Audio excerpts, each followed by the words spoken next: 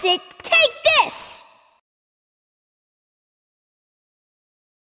Hey!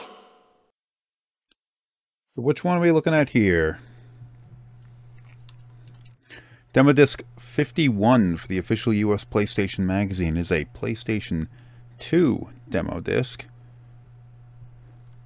A little bit scattershot still as to which ones I have access to. But I'm I'm slowly locating them. So they're coming out not quite in the order that I wanted them to be in. I wanted to have all of these demo discs come out in the order that they were released, but I almost immediately failed at that. or I did immediately fail at that.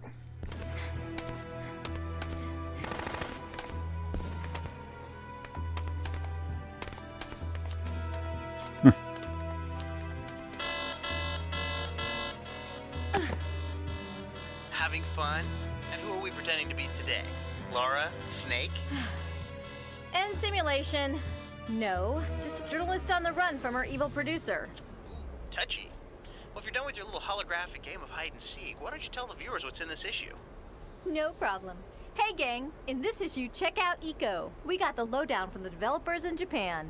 then I flew over to Naughty Dog to hang out with the creators of Jak and Daxter. For those of you who thought the 360 camera we used at E3 in our last issue was cool, the folks at Enroute showed us how they're using it to give you a head-spinning look at things. Head spinning, huh? It's kind of like a, an exorcist camp, Uh, you know, with the head spinning. And Begin simulation. Now, where did I leave that laser? They didn't do this for very long. I mean, they created this Maggie character to sort of be a bit of a mascot for the PlayStation Underground. I don't know she lasted that long. Kinetica. Racing game.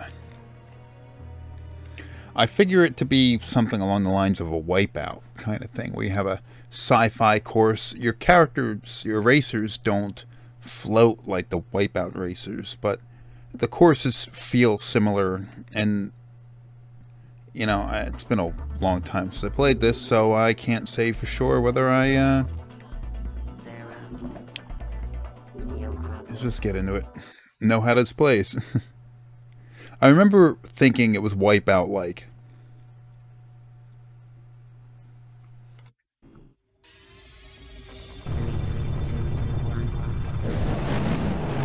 Ah, yeah, it's fairly wipey, wipeouty.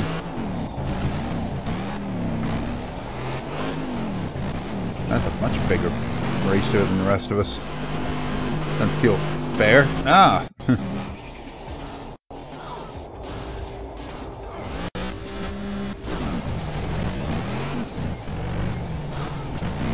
It's an interesting gimmick with the way that the um, character designs and all that kind of stuff, where they have wheels in their hands and their feet.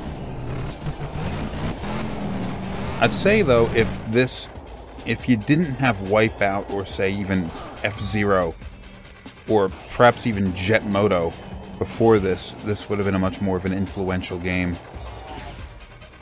I don't really think anybody's really talking about Kinetica anymore. Whereas F-Zero, people jerk themselves off to that quite a bit. Even uh, Jet Moto has some fans still.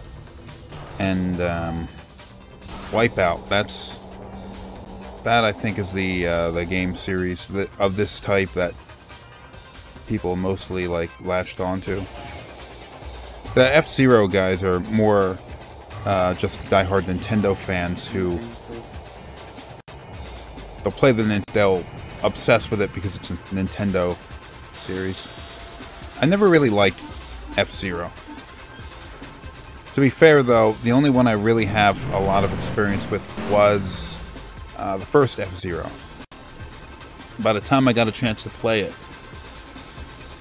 I had um, I had already played like Mario Kart, which was a slower paced game, but I thought was better so the kind of Mode 7 gimmick of it was not. Um, it didn't really hit me the way I guess it should have, or it was supposed to.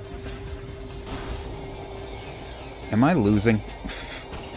I'm position 4 of 12. I don't see any other racers.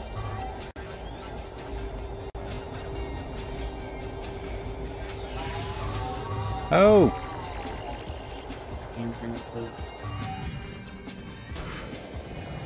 So awkward the way I slam up against the walls there.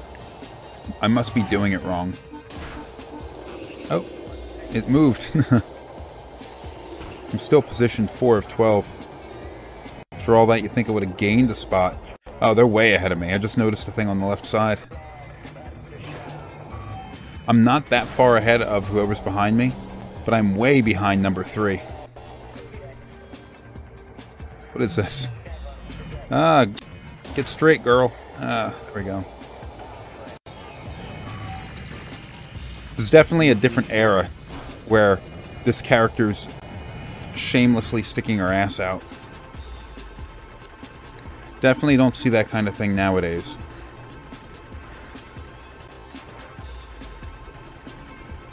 Ah, I at least need to be number four.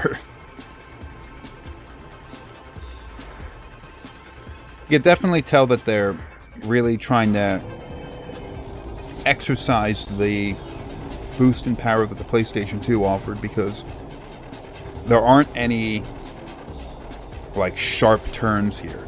Everything bends so they have more rounded rounded environments. Well, here's some sharp bends, but spoke too soon, huh? course, the the more rounded you try to make something in the environment or character model or anything, the more processing performance you need to dump into it. Because you need more vertices and lines and all that kind of stuff. So PlayStation 1 wasn't really that well suited for that kind of thing. It was an older machine. PS2, they put a lot of effort into increasing like the ability to push higher resolution geometry, uh, vector processors being integrated in the CPU and all of that. Hey, I can do tricks. Straighten out. Oh, did I get points for that? I don't know how this works. Oh shit, she's gonna die. Oh. And now I'm position 7. in fact, we're in a completely, like, round, like, tube here. Not to say you didn't see any sort of bends in PlayStation 1 games like Gran Turismo or Driver 2, even Wipeout to an extent had it, but like there was no ceiling in Wipeout, or at least it, it wasn't to this extent. Alright, that was Kinetica.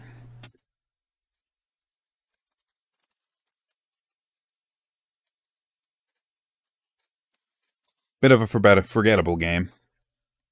I'm sure it's got fans out there, but I don't know if there are any sequels to it. So it's just one of the many, many PlayStation franchises, essentially a series or whatever. Not really a series if there's only one. But PlayStation IPs that were created and then died over the... Alright, I'm going to use save states because this takes forever. This loading takes forever. Oh, I'm not at... Okay, Kinetica. Extermination. Is this a video or is this a demo? It's a demo. Oh. Extermination. It's a survival horror game. Oh, wow. It's got some graphical glitching. this is a survival horror game, and I think it was the first survival horror game sort of unveiled for the PlayStation 2. And I don't know about everybody else, but I was excited for it because, I mean, I'd played Resident Evil and I'd played uh, Silent Hill and I'd played, I don't know, some whatever, whatever other shit there was. And like Imagine that for the PS2. But then, you know, the game ended up coming out, and I made sure to get it. I rented it, and then eventually I ended up buying it just because I saw it, like, for sale for a budget price. But I was I was kind of disappointed with it. It doesn't play very well. There's no uh, This video, this demo is glitching. Dennis here. This is Roger. Where are you? Look up. There's a ventilation shaft. Dude, you're right over him. Should lead into the compound. You need to get up here. Come on. This icy cliff looks impossible. You'll have to find a way around it. Just follow my Directions. First, God, the the voice acting is a disaster. This game is okay. Um. Oh, the battery mechanic. Oh, okay. This game, it's coming back to me. It's one of those games that, like, I played it. Honestly, I played it a bunch of times, but I'm because uh, back in the early PlayStation 2 days, I didn't have a lot of money to buy games, so if I got a game, I played it a lot. So I played Extermination a bunch of times. Fact that I was able to get it for a budget should have been an indication of how good of a game it was. yeah, honestly, it wasn't terrible for its day. I mean, remember, this was it was during an era when developers were still trying to figure out 3D games. So, just because it was a PlayStation 2 and Sony had been doing 3D since PS1, this took more time than that to oh shit. took more time than that for them to really figure it out. So even though there's dual analog control by default essentially with every console Okay. Take it. Take it. Okay, whatever. There was no... There isn't like the modern day concept of 3D control where you have the dual analog stick control, left moves character, right moves camera. You don't have any of that here. It's the camera is just trying to track behind the character. And it feels awkward from a modern context. And if I remember correctly, it's uh, it's a bit difficult to play in some aspect areas where they want you to do like platforming or to activate. From there. Oh, shut up. Activate things. Like you gotta shuffle around in front of items like you're playing Tomb Raider. Oh fuck, this looks dangerous. Ah! Oh, he survived. Should have broken his ankles or something there, but... Oh, okay, R1 centers the camera behind him. He says that. That's an old, uh... That's an older thing that you see in some games. I think it was a game that maybe... Oh, okay, that's how you aim your gun. I think the extermination was a um, it was designed during like unveiled and stuff before the PlayStation 2 launched, but maybe it ran into developmental troubles because I don't think it released at launch. I think it got held up for a little while, and by the time it actually released, maybe people didn't care. Like, because survival horror on the PS2, I mean, you've got some tough competition on that. You've got Silent Hill 2 and 3 and 4 even. Silent Hill 2 maybe came about. Uh, definitely Silent Hill 2 was at least unveiled by the time this game released. So you're looking at this like, oh crap, looks like shit compared to Silent Hill. Have to jump that crevice. Yeah, the crevasse. How do I jump? Nope, it's X. you jump with X. No choice but to jump this one. Yeah, great, great. This the ventilation shaft? While I was What the waiting, fuck do you think it watching is, how idiot? This fan works. It spins for three seconds and stops for two seconds. But with the inertia, it's only clear for one second. Timing needs to be perfect. Why is it doing that? You'd better go ahead. Me first, huh? I'll go once you're safely in. If I see you can survive You're it, I'll go. Stuff, aren't you? Alright.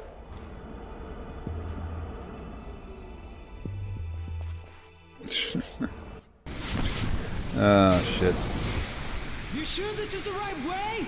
Plus, I mean, like, if you look at sort of action games that were shown off, if not released, by the time Extermination came out. Things that, like Metal Gear Solid 2. Metal Gear Solid 2 was at very least shown off. And of course, it's a different genre of game. But the technology behind it could easily, like, if perhaps if the development studio were a little bit more talented or a little bit more experienced with the hardware, this game could have looked better, could have controlled better. Oh shit. Um, stories in survival horror games tend not to be all that great. It tends to be just like, oh, uh, monster, we're stuck somewhere, monsters, kill monsters, survive, escape. Then you can add some other stuff in there like, oh, um, somebody betrays you, all that kind of stuff. But they tend not to be all that much. Dennis! Our hero, Dennis. I forget, I should have listened to him. I don't know what the fuck to do. Do you know I have to go through that door? And I need to activate some stuff somewhere? But I'm... Uh, what do we have here? Oh. This game has got some kind of um, infection mechanic. Like, so it's not just health they have to worry about. You have to worry about um, your character getting infected. So you use certain items to cure the infection, and then you also have to cure their injury.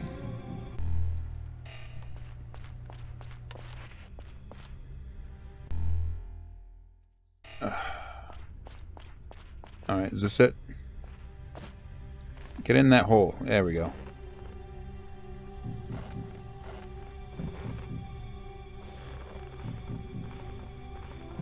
Something better start trying to kill me soon.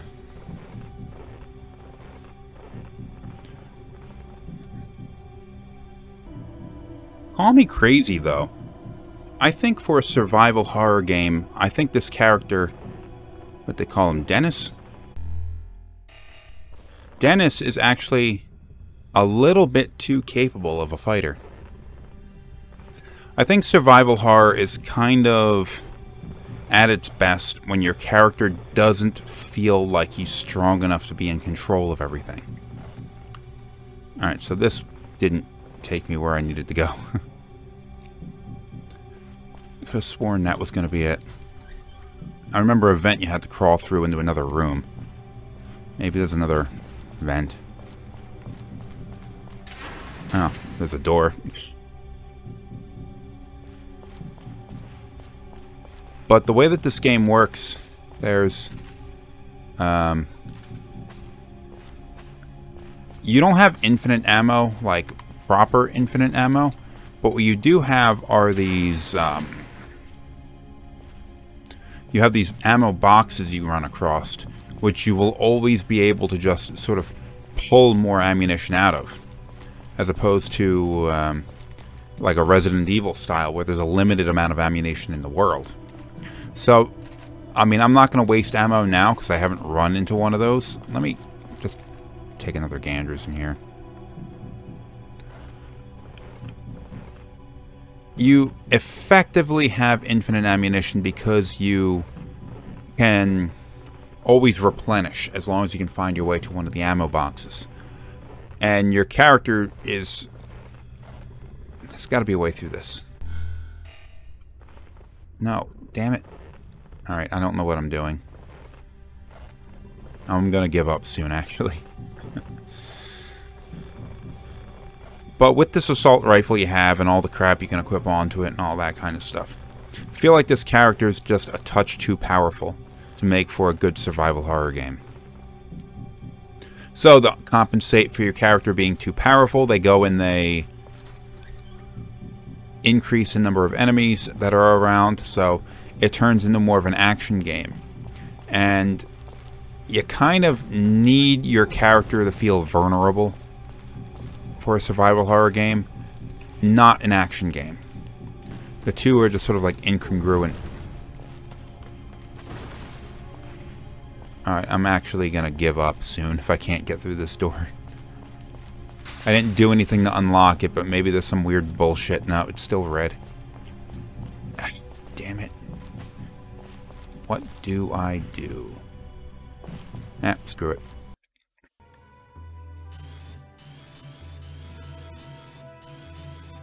Gallop Racers 2001. God, I hope this is just a video. Damn it. There's anything I don't like, I don't care for in the world, it's horse racing. I mean, it's... I've been to the racetrack a few times, placed bets and all that kind of stuff. Unless you have money on it. Unless you have money on it.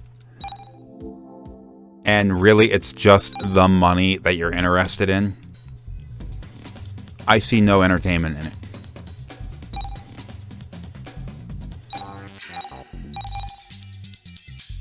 God, I hope this is... I didn't read the instructions. This is going to be one of those damn ones where you got to tap the X button to race. It's probably it, isn't it? Navigator. What the fuck you need a navigator for? It's a racetrack. It's a circle. Shit, that's a lot of people for a racetrack.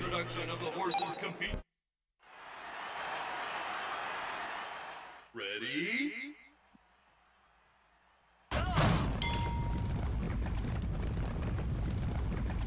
Uh, I didn't read the instructions, so I might be doing this wrong.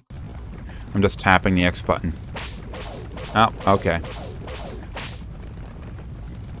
Oh, okay. Do I have to maintain stamina? Is what it is. Alright. You know, why are we... Racing on grass. Not the way the racetracks I've seen looked.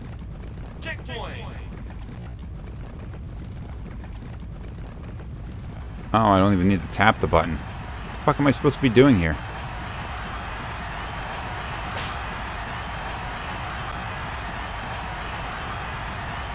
I think I'm winning. Oh, no, I'm in position four. I'm out of stamina, though, so what am I supposed to... No, I'm in position one. Yeah! The fuckers. Behind me. Did I win?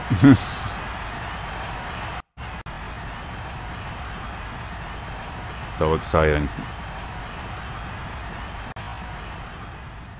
I don't know if I won or not. I think I lost. Number 10. Was I number 10? I don't I don't fucking know. Oh, I finished number 3. Fantastic. I didn't win any money. Hmm. Even if I won the race, I wouldn't win any money, so jumping out. NBA Street. I don't remember. Well, I remember this game existing. I don't remember there being a demo of it, though.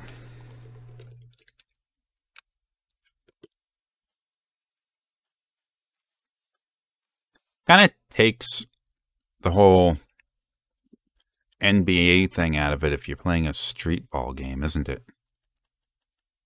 Maybe there are NBA players in it. I mean, you got to look at this as being kind of a an easy enough investment for a company because I mean, okay, so you get the NBA license and you have a license for all these teams. So EA. You already get your game engine running, all this other kind of stuff. It's not that hard to roll it over into a smaller title like this. Yes, yes, fuck, whatever. Just look, just do this.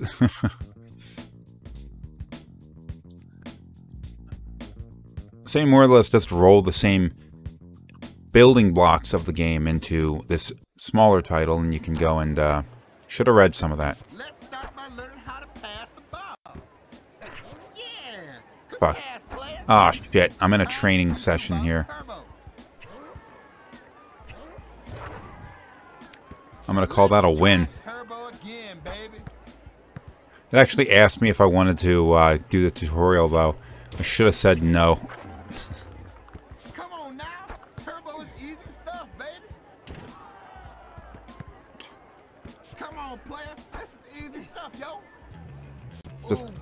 Shoot from far fucking away.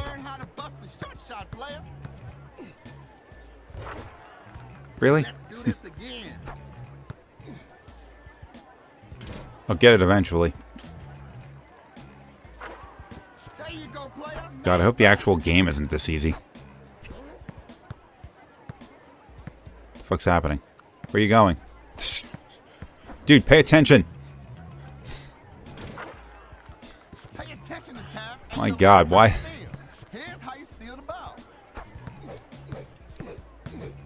Swiping his ass. Ah, got it. Fouled him, though. yeah, just Here's how you take the distance shot, player. There you go, player. Nice bust for two points. What was I doing? I didn't read the instructions. I don't know how to pump fake. Ah, okay. Quickly tap circle. That's what I was doing. Try to pump fake one more time. The instructions are bullshit. On, player. This is easy stuff. Doesn't work. Here's how you pump fake. I quickly tap the circle button and just freaking shoots. Move the ball to the player. Move the ball to a player in shooting position. How to learn about the player indicator. No, damn it, that was shooting. Here's how you pump fake. There you go. Good pump fake, player. Now for the All right, all right, done. Formula One, 2001. That would almost rhyme if not for the fact that one and one are the same word.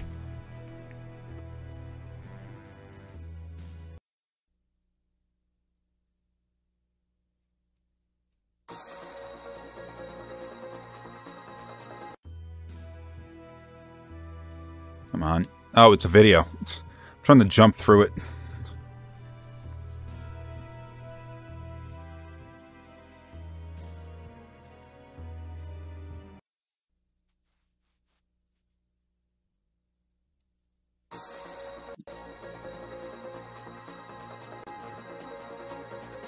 Racing games did look surprisingly good. Some racing games, anyway.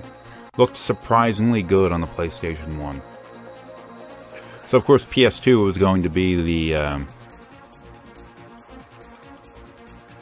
everyone was waiting to see what PS2 racing games would look like. I, I think there was a Ridge Racer game that came out for it, and there may have been fairly early a small, smaller Gran Turismo release, like a twenty dollar kind of release, not a full game.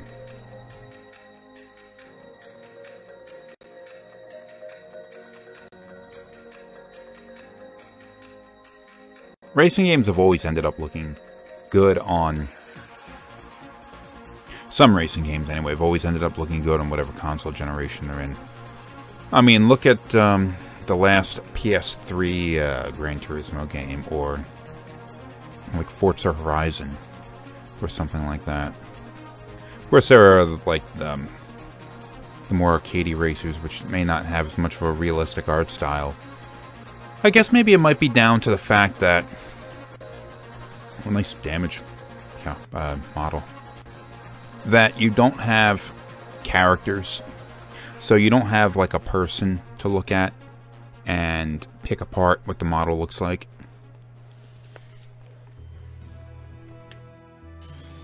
Final Fantasy X's got to be a video. There have been other worlds. That's not 10, that's 9. Mythical. Yeah, we're still looking at 9. Timeless.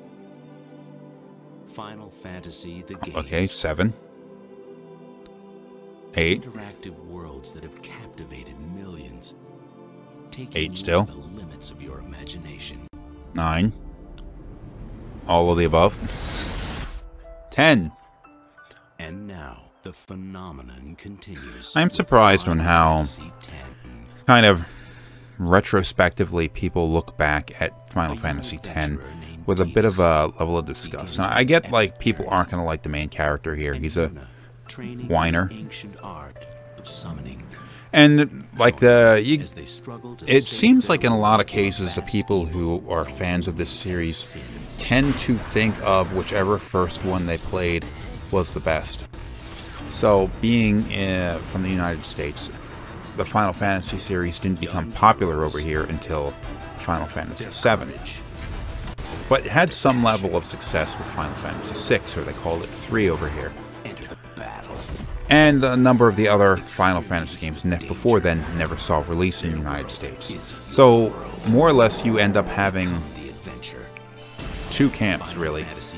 Fantasy 10. A lot of them that say Final Fantasy VII was the best, a lot of them say 6 was the best. Product not yet rated. And there's a few that look at 9. And 9 being sort of built as something of a throwback to the earlier games in the series with its more high fantasy um, environments and character models and stuff like that. But then you get to 10, and the 10 jumped to the PS2, and it was we were all excited for this one as well because it was like, man, what are they gonna manage to do? Because uh, it was success after success. And the game ended up being different than I expected it to. Uh, the lack of an overworld was a little bit of a disappointment uh, to me, but I mean the it wasn't bad what they did do, having the environments just sort of go into each other. And for the most part, I thought the characters were all pretty good and the story was all right. I just uh, a lot of people give it shit for its voice acting, and its voice acting isn't really that bad. But I keep seeing videos and people commenting over and over again about the damn scene when they're laughing. The Tidus and Yuna are laughing and it sounds terrible. Why it sounds terrible? It was intentionally terrible because they were faking laughter.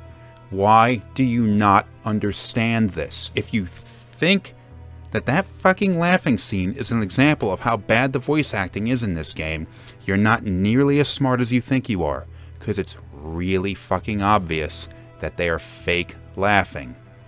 Anyway, rant over. Moving on. Uh, Blood Omen 2.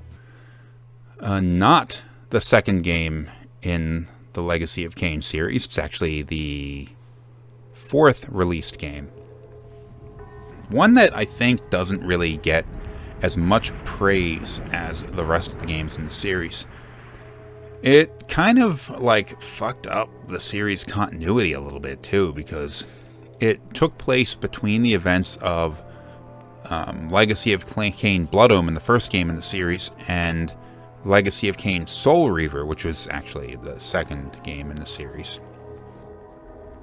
And it set up this idea that Kain went on this, the Kain being the protagonist from the first game, went on this, um, built this vampire army up and went on this crusade.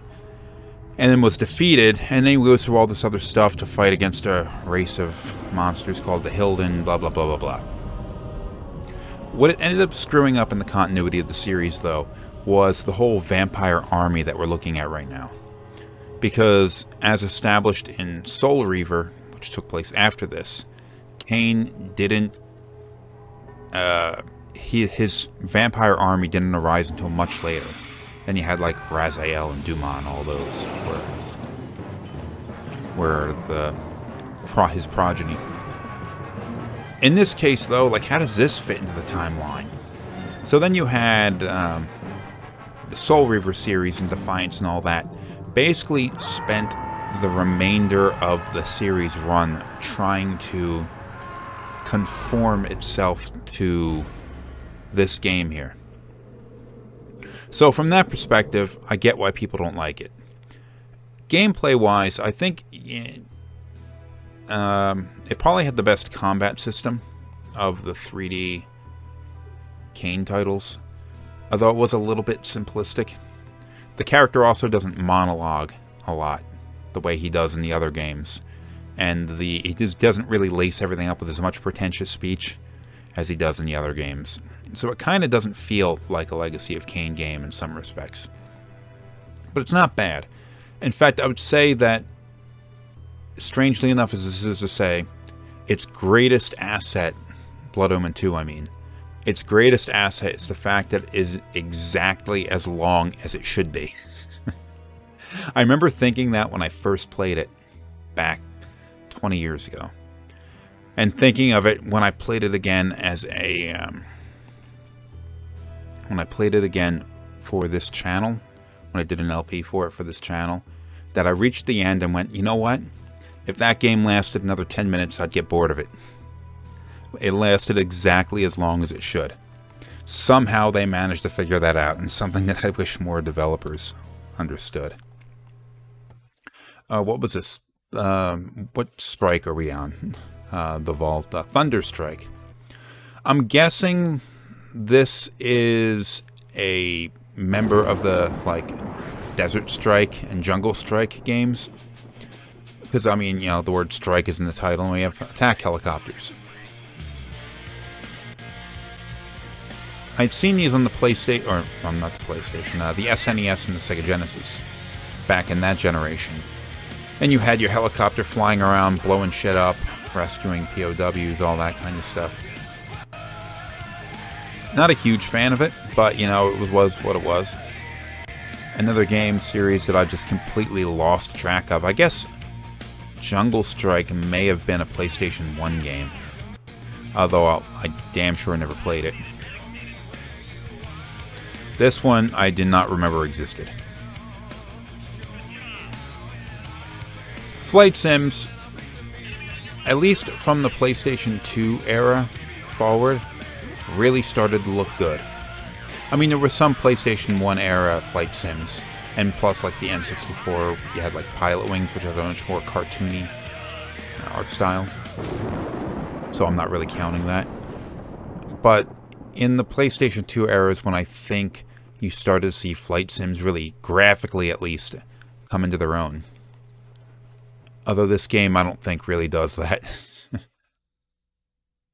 remember being um, excited for a game called Dropship, which was a PlayStation 2 flight sim that I never ended up playing. I should look into that. Jak and Daxter, the precursor legacy. Oh man, the perfect evolution of the action platformer genre. So this was Jak and Daxter. These were um, these were the successors to Crash Bandicoot. So Crash Bandicoot was created by Naughty Dog, but thanks to the fact that they were published by I think Universal, Universal maintained the copyright for it. So they didn't have the IP. Naughty Dog didn't have the IP. So plus, I mean, I don't date when they went to start creating a new genre, and Sony may have owned them, Naughty Dog, by this point. They couldn't use Crash, and they were probably bored working on Crash game after Crash game after Crash game. So these were the new characters.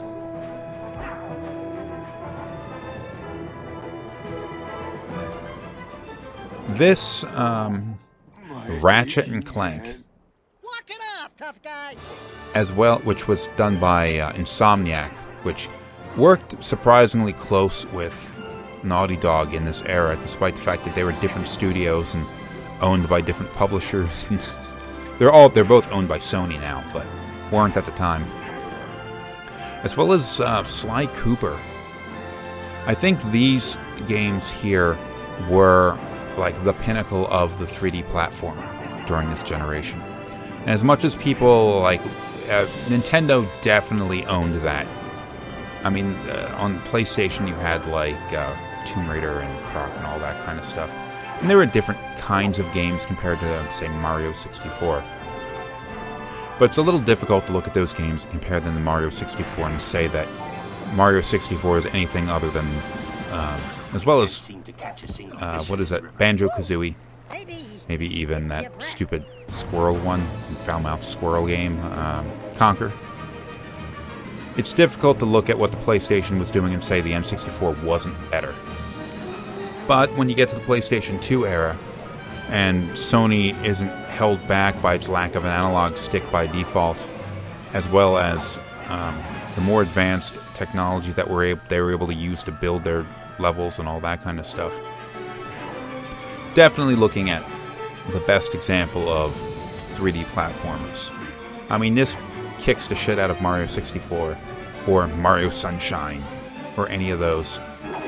And I think maybe it wasn't.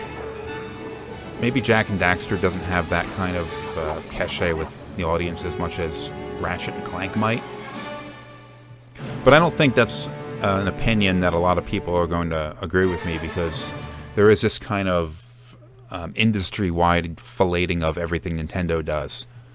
So you get something like Mario Sunshine, which I thought was not a terribly good game. I mean, it wasn't bad by any means, but it wasn't like the groundbreaking game that Mario 64 was. And I don't think it met the standard of like Jak and Daxter, or Ratchet and Clank, or Sly Cooper. Moving on. Kinetica. Okay, we're back to where we began. How long has this video been? 40 minutes. Okay, so it'll be another one where I'm splitting this video in half. So, there we go. Uh, thanks for watching. I'll see you with part two.